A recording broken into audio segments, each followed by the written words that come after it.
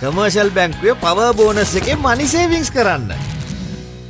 බන්දු තෙන්නකෝන් පොලිස්පති දුරේ රාජකාරි සහ බලතල ක්‍රියාත්මක කිරීම වලක්වාලමින් පනවා තිබෙන අතුරු තහනම් නියෝගය ඉවත් කරන ලෙස ඉල්ලා ගොනු කෙරුණු අතරමැදි පෙත්සමක් ශ්‍රේෂ්ඨාධිකරණය ඊයේ ප්‍රතික්ෂේප කළා. පූජ්‍ය බෙල්ලංගිල ධම්මරතන හිමි, මහාචාර්ය අගලකඩ සිරිසුමන හිමි සහ කොටපිටියේ රාහුල හිමි මෙම පෙත්සම් ඉදිරිපත් කර තිබුණා. මෙම අතරමැදි පෙත්සම යසන්ත කෝදාගොඩ අචල වෙංගප්පුලි සහ මහින්ද සමයවර්ධන යන අයගෙන් සමන්විත ත්‍රිපුද්ගල ශ්‍රේෂ්ඨාධිකරණ විනිසුරු මඩුල්ල ඉදිරියේ කැඳවනු ලැබුවේ. එම අවස්ථාවේ අදාළ අතරමැදි පෙත්සම සලකා බලන ත්‍රිපුද්ගල විනිසුරු මඩුල්ලේ සාමාජික විනිසුරුවරුන් වන අචල වෙංගප්පුලි සහ මහින්ද සමයවර්ධන යන අය වෙනත් නඩු කටයුත්තකට සහභාගී වීමට නියමිතව තිබෙන හේයින් අදාළ අතරමැදි පෙත්සමේ සඳහන් කරුණු පමණක් සැලකිලටගෙන නියෝගයක් ප්‍රකාශ කිරීම සම්බන්ධයෙන් විරුද්ධත්වයක් තිබේදැයි ත්‍රිපුද්ගල විනිසුරු මඩුල්ලේ සභාපති විනිසුරුවරයා පාර්ශවකරුවන්ගෙන් විමසා සිටියා. එම අවස්ථාවේදී පාර්ශවකරුවන් වෙනුවෙන් පෙනී සිටි නීතිඥවරු සඳහන් කළේ ඒ සම්බන්ධයෙන් විරුද්ධත්වයක් නැති බවයි. ඒ අනුව නියෝගය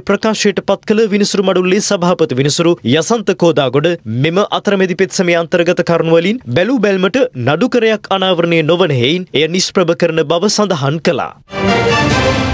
රටේ ලෝකෙ සිදුවන උණුසුම් පුවත් දැනගන්න සියත නිවස් YouTube channel එක අදම subscribe කරන්න.